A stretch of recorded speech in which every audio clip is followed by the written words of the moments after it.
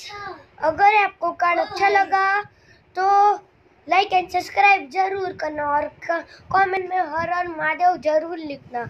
और बॉय हो तो जो बोलना। क्या? और